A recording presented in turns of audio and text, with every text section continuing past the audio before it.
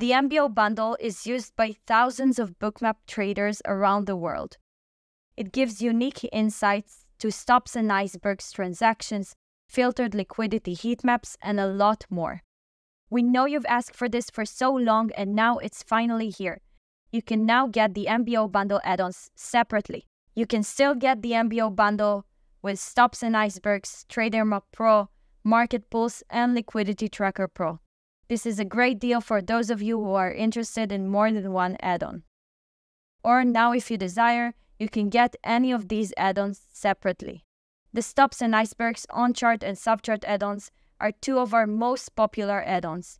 They track the evolution of iceberg orders, showing precisely when and at what price icebergs are detected, traded, cancelled, or fully executed. You can get these two add ons for $89 per month on the marketplace. The TraderMap Pro add on allows you to filter data to create customized and insightful historical heat maps. For example, filter by order size, filter the number of orders per price level, and even filter the orders and trades placed by selected brokers. You can get this add on for $49 per month on the marketplace. The Market Pulse add on consists of multiple per instrument widgets. Each widget measures and displays events that are generated by different sources, for example, order flow, order book, options, and liquidations.